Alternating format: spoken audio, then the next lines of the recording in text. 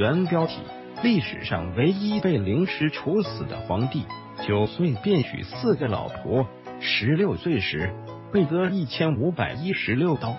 在古代有很多刑罚，其中有很多非常严厉的酷刑，更残酷的，我们还在影视剧当中看到，用烤好的烙铁去烫犯人，简直是惨不忍睹。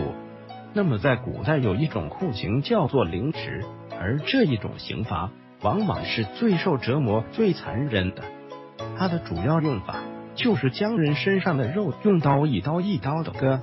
大家可以想象一下，法医是如何解剖尸体的。那么凌迟也就比那残酷十倍。而这一刑罚主要是针对那些犯了滔天大罪的人，只要是统治者下了命令，就难逃一劫。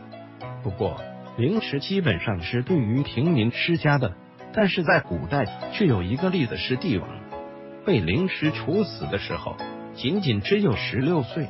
堪称是历史上唯一被凌迟处死的皇帝，他就是洪天贵福，洪秀全的儿子。其实对于洪天贵福来说，他的一生是比较惨的。虽然是洪秀全的长子，但是从各种方面都没有得到应得的教育，所以洪天贵福也并没有很能干，一直也得不到重视。而给他找的那些老师们。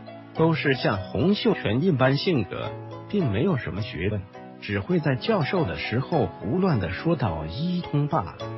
而且洪天贵福从六岁开始就在学习，但是十年过去了，却没有学到有用的东西，所以到头来他的学习就是一些基础，自己也没有做到知识的深入浅出，更别说中国的传统文化了，骨子里根本就没有。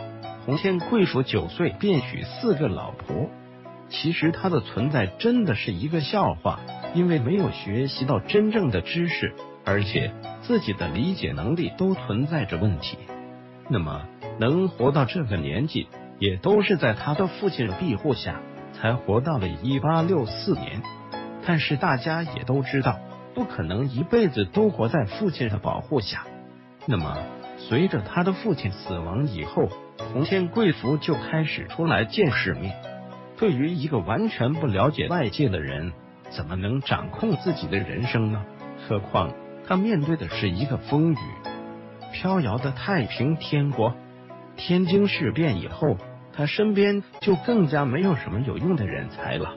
在一八六四年的六月六日登基，很快在一个月以后，清兵进入了天津，随后国家灭亡。洪天贵福逃出了京城，在三个月的逃亡过程当中，自己的人越来越少，全部去投靠了清兵。